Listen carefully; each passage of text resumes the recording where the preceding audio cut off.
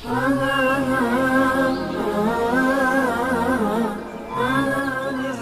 berikutnya. Jenis mad berikutnya. Al-mad al-arid lis sukun. Mad arid lis sukun. Hukum mad arid lis sukun apa? Jaiz. Kenapa? Karena boleh kosor, boleh mad. Maksudnya apa? Dari 10 ulama kiroat ada yang dua, ada yang empat, ada yang enam. Bahkan keumuman kiroat ternyata bacanya sama. Untuk mad arid li sukun bacanya berapa? Dua atau empat atau enam. Bukan dua sampai enam. Keliru kalau misalkan ada yang mengatakan dua sampai enam. Kenapa? Karena kalau dua sampai enam membolehkan tiga dan lima. Kapan arid li sukun itu terjadi? Au arados sukunu musjala. Kapan itu? Jika ada huruf mad bertemu dengan sukun arid. Apa sukun arid? Sukun yang palsu, sukun yang bukan asli. Maknanya apa? Ada huruf berharokat ketika di akhir kalimat dia dibaca sukun. Kenapa mesti dibaca sukun? Karena demikianlah tabiat orang-orang Arab selalu mengakhiri bacaan dengan sukun. Kalau enggak mau sukun maka jadi mad. Gitu pilihannya kalau orang Arab. Mau sukun atau mau mad? Cuma dua pilihannya. Ya. Karena mad juga sebetulnya jadi sukun kan? Begitu. Atau dalam bahasanya Al-Jamzuri beliau mengatakan Wa mithlu dha in arada sukunu waqfan kata'lamuna nasta'inu. Seperti apa contohnya? Ta'lamuna. Kalau kita wasol bacanya ta'lamuna. Kalau kita berhenti bacanya bagaimana? Ta'lamun. Wah, nunnya kenapa nggak dibaca fathah? Karena demikianlah orang-orang Arab mengakhiri bacaan. Apakah selalu sukun? Enggak. Tapi umumnya sukun. Karena ada cara yang lain. Ya. ya ada di bab terakhirnya matan jazari. Cuma kita nggak sampai sana. Seperti itu. Waqfan ketika waqaf. Nasta'inu ketika berhenti bagaimana? Nasta'in. Silakan. Boleh dua harokat, boleh empat harokat, boleh enam harokat. Yang dua harokat bagaimana? Sama panjangnya dengan pada saat kita baca nasta'inu. Berarti nasta'in. Silakan. Nasta'in. Empat harokat nasta'in. Silakan. Nasta'in. Enam harokat nasta'in.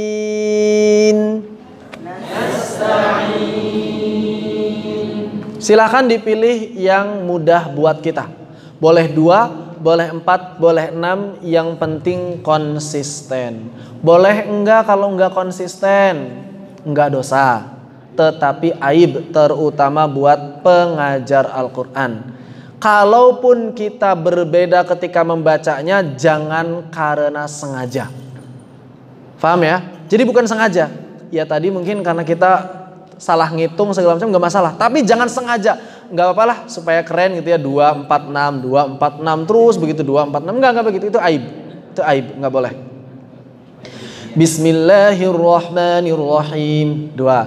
Alhamdulillahi Rabbil Alamin. Empat. Ar-Rahmanir Rahim Enam Itu empat enam. Itu kayak gitu. Nggak boleh. Kalau sengaja tidak boleh aib ya, jelas aibnya gitu. Kalau sengaja, kalau nggak sengaja misalnya kita niatnya empat, tapi kemudian pada beberapa ayat kurang sedikit, kemudian lebih sedikit pada ayat yang lain nggak masalah kalau baca sendirian. Kalau dikoreksi, insya Allah ada yang ngoreksi, begitu kan? Kalau baca sendirian salah-salah sedikit nggak masalah, karena ini bukan termasuk yang mengubah makna. Ya, kalau kepanjangan mad sedikit, kurang mad sedikit nggak mengubah makna, jadi nggak berdosa. Begitu. Jadi hati-hati. Dan juga hati-hati mad arid sukun kalau kita ingin berniat mengambil dua harokat bukan berarti dihilangkan madnya. Karena sebagian orang ada yang menghilangkan madnya. Kayak gimana? Bismillahirrahmanirrahim. Alhamdulillahi rabbil alamin. Hilang madnya ini. Kalau sudah hilang madnya, maka mengubah makna. Kalau madnya hilang maka mengubah makna. Sama halnya kalau sesuatu tidak ada madnya dibaca mad Qul huwallahu ahad. Ini ngubah makna. Begitu. Gimana? Allah alam Jadi nggak bermakna ya, jadi aneh maknanya. Panjang mada arid adalah dua atau empat atau enam. Ya bukan dua sampai enam. Kurang tepat kalau dikatakan dua sampai enam.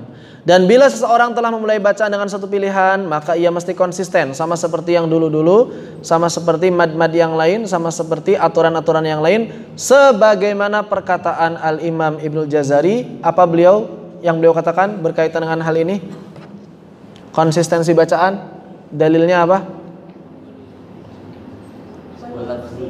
Wal lafdhu fi nadhirihi kamithlihi dan setiap lafaz fi nadhirihi e, ketika dia sudah dibaca pada satu bacaan kamithlihi harus sama bacaan berikutnya. Begitu maksudnya. Ya. Jadi ketika ada satu lafaz dibaca dengan satu bacaan satu pilihan bacaan maka yang berikutnya harus sama dengan yang awal. Kamithlihi begitu. Itu maksud dari kata wal lafzu fi nadhirihi kamithlihi dan jangan jadikan rekaman-rekaman bacaan sebagai hujah, sebagai dalil ya. Misalnya antum mendengar, oh Syekh Anu kok bacaannya kadang dua, kadang empat, kadang enam gak masalah.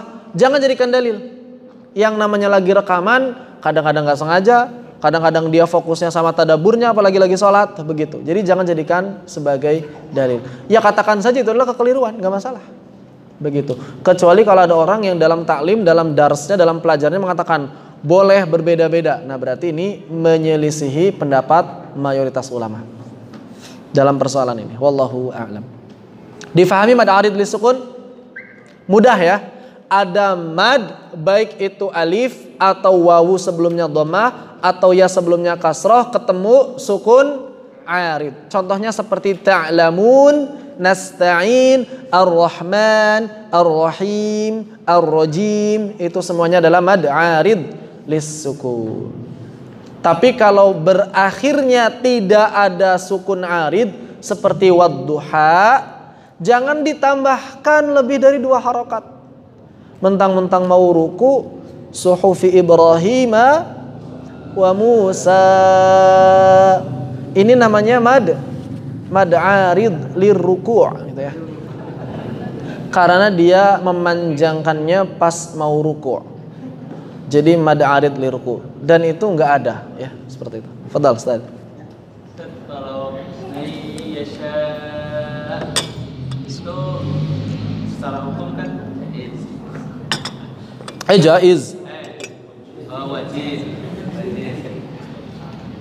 Nah ini kalau yang sya itu kalau karena di akhir ya ini masuk mad arid sukun atau tidak? Masuknya arid sukun atau wajib? Kalau aril sukun berarti hukumnya jaiz, kalau wajib mutasil berarti hukumnya wajib. Jadi masuknya apa nih? Ya.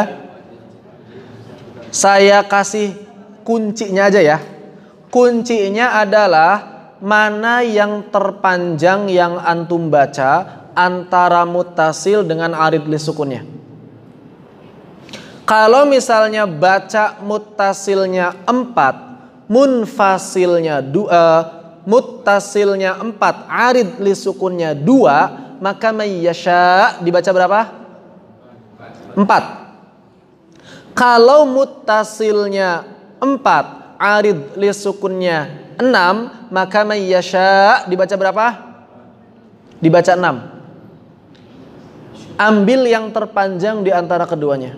Kenapa? Karena yang terkuat harus selalu menang. Ini kaidah akwas sababain begitu yang terkuat selalu menang. Jadi tergantung antum mana yang lebih panjang bacanya. Maka ketika ada satu kata di dalamnya terkumpul beberapa mad, maka amalkan yang kuat, tinggalkan yang lemah. Yang kuat itu yang mana? Yang kuat itu yang pertama lazim, yang kedua wajib, yang ketiga arid, yang keempat jaiz, yang kelima badal. Begitu. Cuma mad arid li sukun ini ketika dibaca 6 maka tingkatannya sama dengan lazim sehingga dia menjadi lebih kuat daripada wajib muttasil. Intinya beginilah ya. Kalau misalnya kita baca muttasil dan arid li sukunnya lebih panjang muttasil, maka mayyasha ikut muttasil. Kalau muttasil dan arid li sukunnya lebih panjang arid li sukun, maka mayyasha ikut arid li sukun. Berarti kalau ada pertanyaan hukumnya apa? Tergantung. Ya. Hukumnya oh ya tergantung tergantung itu tergantung kita baca mana lebih panjang. Nama jenisnya apa? Ya jenis madnya bisa disebut mad wajib mutasil, bisa disebut mad arid li sukun. Ada juga yang nyebutnya mad mutasil arid, digabung semuanya. Ada. Sebagian syekh ketika ditanya, "Oh, mutasil arid ya?" ya mutasil arid saya. Jelasin kayak gitu caranya. Baik ya, gampangnya gitu, betul. Berarti penentuan untuk arid ini pilihan 246 ini enggak enggak mengikat dengan mad, mad wajib atau mad Enggak, dia tidak ada kaitan dengan mad wajib mutasil dan mad munfasil. Pilihannya bebas. Mau dua, mau empat, mau enam bebas. Kaitannya dengan apa? Kaitannya dengan saudara sepupunya. Siapa itu? Madlim.